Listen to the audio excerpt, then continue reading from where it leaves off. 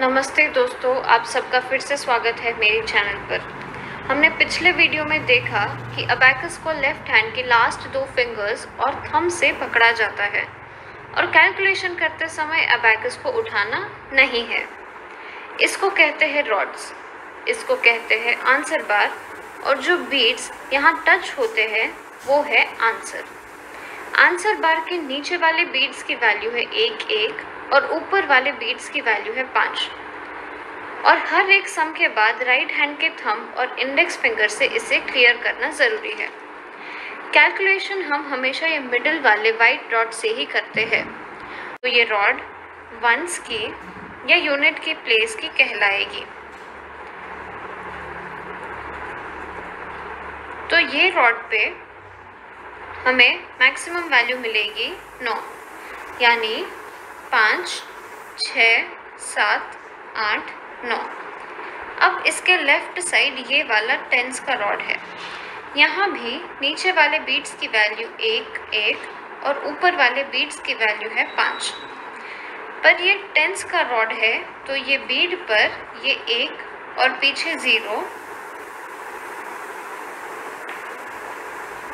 तो इसकी वैल्यू हुई दस, बीस तीस, चालीस और यहाँ ऊपर वाले पाँच और ज़ीरो, यानी पचास। तो यहाँ fifty, sixty, seventy, eighty and ninety तो ये रॉड पे हमें मैक्सिमम वैल्यू कितनी मिलेगी? जी हाँ बिल्कुल सही नाइन्टी अब हमें देखना है कि teachers training book page number three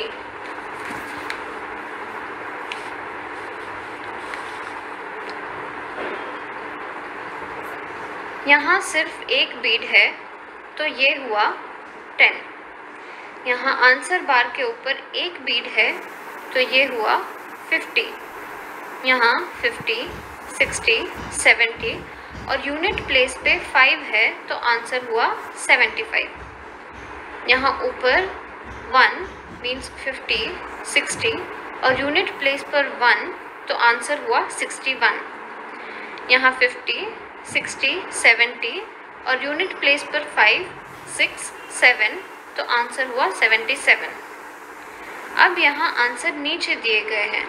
हम बीड्स बना, हमें बीड्स बनाने हैं। तो यहाँ फाइव यानी आंसर बार के ऊपर एक बीड और यहाँ छः, यानी आंसर बार के ऊपर एक और नीचे एक बीड ड्रॉ करेंगे। यहाँ सिक्सटी फाइव यानी फाइव सिक्स और यहाँ आंसर बार के ऊपर वन, यानी सिक्सटी फाइव। अब यहाँ आंसर दिया गया है नाइन्टी नाइन। तो ये फिफ्टी, सिक्सटी, सेवेंटी, एटी और नाइन्टी और यहाँ five, six, seven, eight and nine अब यहाँ आंसर दिया गया है थर्टी नाइन। तो टेन, ट्वेंटी, थर्टी और इस तरफ़ five, six, seven, eight and nine अब आखिरी आंसर दिया गया है ट्वेंटी सेवन तो टेन ट्वेंटी और यहाँ पर फाइव सिक्स एंड सेवन आपका बहुत बहुत धन्यवाद इस वीडियो को देखने के लिए। अगर आपको ये वीडियो अच्छा लगा हो तो लाइक शेयर और सब्सक्राइब ज़रूर करें। धन्यवाद।